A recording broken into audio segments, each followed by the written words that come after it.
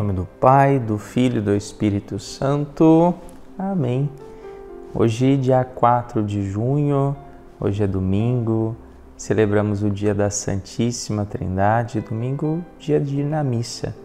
Né? É interessante porque tudo, todos os momentos de oração que nós, como católicos, fazemos, nós sempre iniciamos aí com o sinal né, da Santíssima Trindade. Né? A bênção vem dessa bênção da Trindade.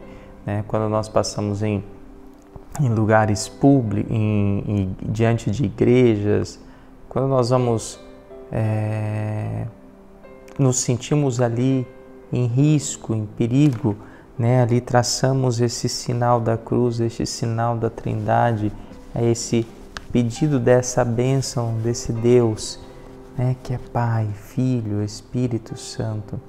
É, é muito importante nós entendermos o porquê que nós estamos fazendo este sinal, né, que é um sinal de bênção. É muito importante para nós.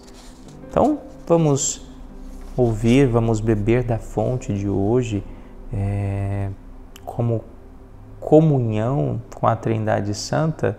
Se você puder ir à missa, vá à missa. Se você está impedido, é, mas vamos supor que você é um enfermo aí na sua cidade e pode comungar, mas não tem como ir, converse lá com algum ministro da Eucaristia, peça para levar comunhão na tua casa. Se você está afastado da, da Eucaristia, da comunhão, né, eu acho que é importante você poder também é, se confessar para poder comungar. Se você não tem a primeira Eucaristia, né? Então vá, entre numa catequese, mesmo que você seja adulto.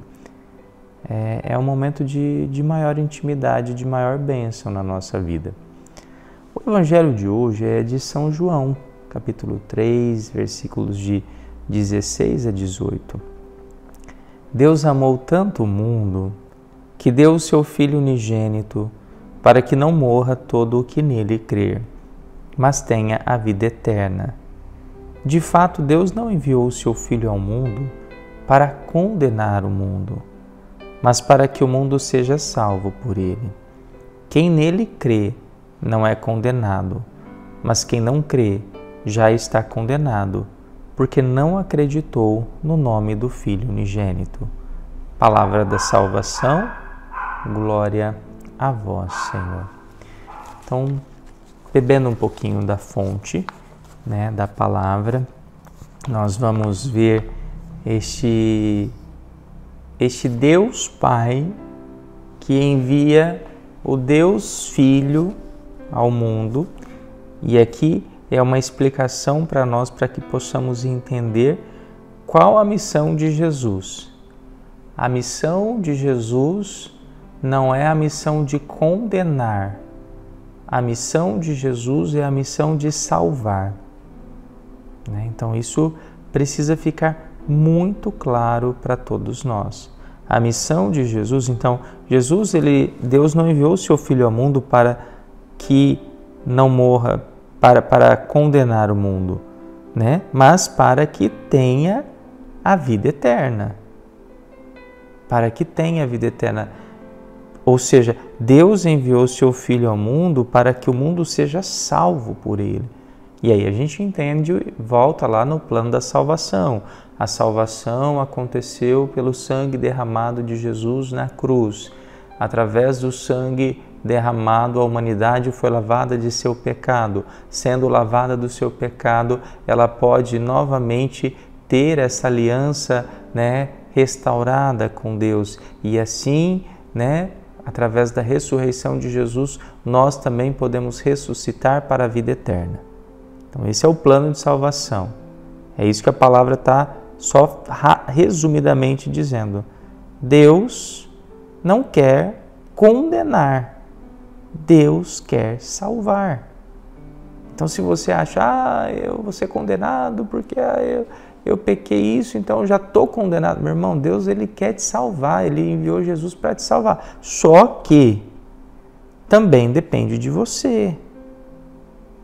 O querer de Deus precisa entrar, ir de encontro com o teu querer.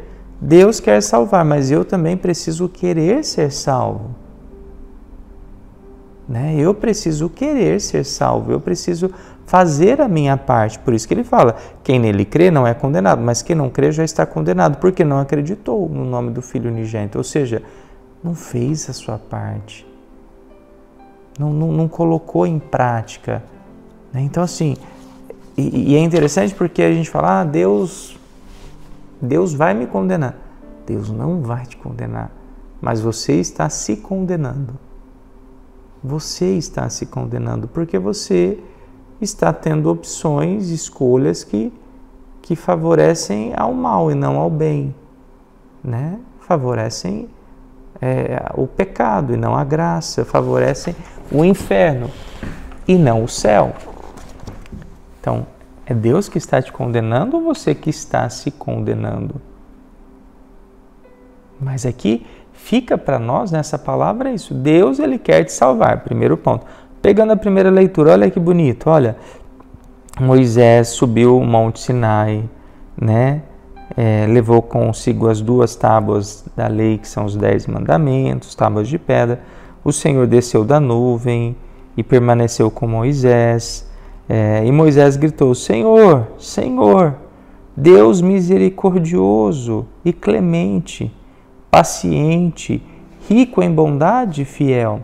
Né? É, é muito bonito esses adjetivos que, que Moisés atribui a Deus. Ele é misericórdia, ele é clemente, ele tem paciência, ele tem bondade, ele é fiel a nós. Imediatamente Moisés se curvou ao chão e disse: Senhor, se é verdade que gozo de teu favor, peço-te, caminha conosco caminha com este povo. E olha que bonito, embora este povo seja um povo de cabeça dura, perdoa nossas culpas e nossos pecados e acolhe-nos como propriedade tua. Essa oração a gente tinha que fazer todo dia. Ao acordar, Senhor, se é verdade que eu gozo de teu favor, caminha comigo, embora Muitas vezes eu se tenho uma cabeça dura, perdoa minha culpa, os meus pecados e me acolhe como propriedade sua. Olha que oração linda, né? Que oração belíssima, né? Moisés acaba fazendo e nos ensinando a fazer. A gente reconhece esse Deus paciente, rico de bondade, mas ao mesmo tempo a gente reconhece a nossa limitação e pede perdão, né? Pede, e aqui está claro né, a, que aí Deus caminha com esse povo. Deus não deixou esse povo sozinho, mesmo muitas vezes esse povo não merecendo. E aí a gente vai para a segunda leitura. Irmãos, olha São Paulo aos Coríntios dizendo: alegrai-vos, trabalhai no vosso aperfeiçoamento. tá vendo como que a gente que precisa fazer o, o que é correto, essa semana a gente falava muito da sabedoria, né? Trabalhai no vosso aperfeiçoamento. Para de ficar satisfeito achando que você já é bom o suficiente. Não. Tem gente que está achando que é a última, última bolacha do pacote. A gente sempre fala, e está sempre quebrada. Está sempre quebrada. Então, para. Você ainda pode melhorar e muito. Trabalhai no vosso aperfeiçoamento, encorajai-vos, cultivai a concórdia, vivei em paz. Olha quantas coisas que a gente tem que parar e pensar. Eu cultivo a concórdia, eu vivo em paz, eu estou, né? Eu estou trabalhando nesse aperfeiçoamento ou não? É triste, é triste, porque quantas vezes dentro da própria igreja a, a concórdia não acontece porque a pessoa não está favorecendo a concórdia. A concórdia não acontece, a, não está tendo paz porque a pessoa não está favorecendo a paz. E se não acontece na igreja, quando você for, vai olhar, não acontece nem dentro do lar. A concórdia não acontece. Tem pessoas que estão sempre ali buscando a discórdia e se alimentam disso, num funcionamento muito ruim. E é uma pena. é uma pena, porque traz sofrimento, né? Saudai-vos uns aos outros com o beijo santo, né? Saudai-vos, né? Que a gente consiga se cumprimentar. Nós não temos que ter inimizade, porque todos os santos vos saúdam. Então por que, que você está brigado com fulano, com ciclano, com beltrano? Para, né? Trabalha no seu aperfeiçoamento, use disso para o teu crescimento, use disso para a tua me melhora. Eu gosto muito de, de trabalhar isso com o povo da igreja, porque a gente ali na igreja, a gente está buscando essa melhora. Senão não adianta nada. Se for para eu ir para a igreja para continuar a mesma pessoa que eu sou, não adianta nada. A graça do Senhor Jesus Cristo, o amor de Deus e a comunhão do Espírito Santo esteja com todos vós. E aqui entra essa Trindade Santa: Pai, Filho, Espírito Santo. Um único Deus em três pessoas. Difícil de, de compreender, né? E até tem aquela história, né? Acho que é Santo Agostinho estava tentando entender a, o tratado né, da, da Trindade Santa e ele está na, na, na beira do mar e ele vê uma criança com uma conchinha, ele, ela vai ao mar, pega um pouquinho de água e joga dentro do buraquinho. E faz isso repetidas vezes. E ele inquieto vai lá e pergunta para a criança: O que, que você está fazendo? Que eu estou vendo você buscando essa conchinha com água, colocando. E a criança falou: Eu quero colocar toda a água do oceano aqui nesse buraquinho. E aí, Santo Agostinho, o, o Santo Agostinho vira para o menino e fala: Não, mas isso é impossível. Olha o tamanho que é esse mar. E olha o tamanho que é o buraquinho. Né? E o anjo aquele menino que não era um menino, mas que era um anjo, vira para Santo Agostinho e fala: é mais fácil colocar todo esse oceano nesse buraquinho do que você entender né, o mistério da Santíssima Trindade. E ali o, o anjo que era um menino desaparece, né? Ou seja, é algo muito grande, muito grande para um buraquinho, para uma mente nossa que é tão pequenininha.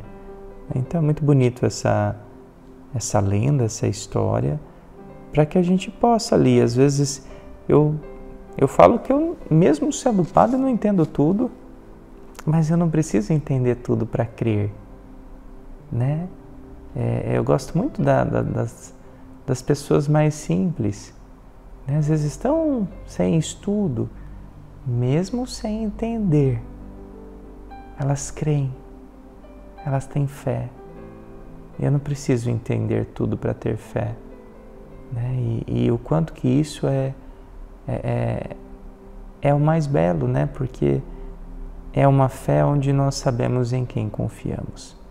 Então vamos rezar e de maneira especial, né? buscando essa salvação, fazendo a nossa parte. A palavra de hoje diz: Deus quer nos salvar, mas eu também preciso querer a salvação e eu tenho que fazer a minha salvação acontecer. Pai nosso que estais nos céus, santificado seja o vosso nome, venha a nós o vosso reino. Seja feita a vossa vontade, assim na terra como no céu. O pão nosso de cada dia nos dai hoje. Perdoai as nossas ofensas, assim como nós perdoamos a quem nos tem ofendido. E não nos deixeis cair em tentação, mas livrai-nos do mal. Amém. Que o Deus Todo-Poderoso te abençoe, Pai, Filho, Espírito Santo. Amém.